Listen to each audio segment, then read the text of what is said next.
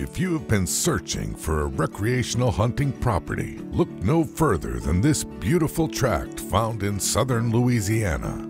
As you go through the gated entrance and down the maintained road and trail systems, the gorgeous pine savannas welcome you to this 1,704 acre property located within Allen Parish. Over the years, the land has been restored to its full potential thanks to proper planning and habitat management.